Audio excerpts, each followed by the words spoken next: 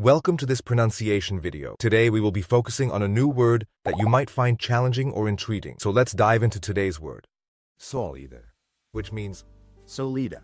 Firm, unyielding, sturdy, or having a strong structure. let's say it all together. Sólida. Sólida. Sólida. One more time. Sólida. Sólida. Sólida. Sólida. Thank you for joining us on this adventure in pronunciation. Remember, language is a journey, not a destination. Keep exploring, experimenting, and expanding your linguistic horizons. We'll see you next time.